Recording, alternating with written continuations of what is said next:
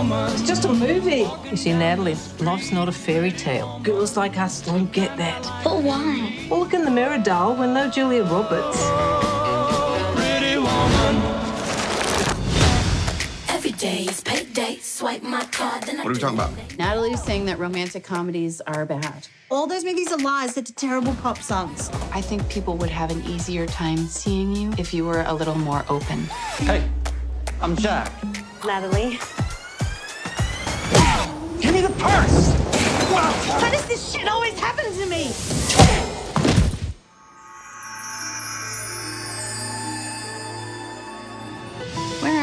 You're in the emergency room. This isn't an emergency room. This is a Williams Sonoma. Making my way downtown. It looks like somebody's put a beauty filter across New York City. 911, what's your emergency? Someone's broken into my apartment and they've taken everything and replaced it all with much nicer stuff. So, your emergency is that your apartment is too big and you have every shoe you could ever want. Yeah, exactly. That's what I. um, Yeah.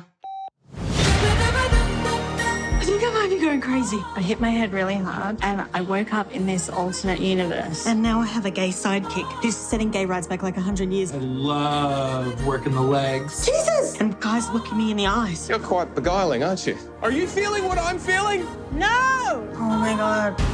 I think I'm trapped in a. My life's become a mother romantic comedy!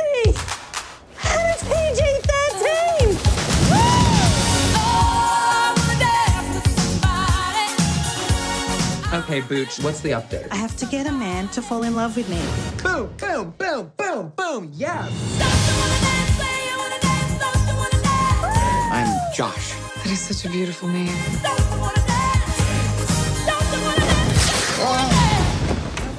Good morning, beautiful. Last night was amazing. I don't think we actually did anything It just cut to the next morning. What? Just get back here. Okay. Good morning, beautiful. Last night was amazing. Natalie, I. Lo-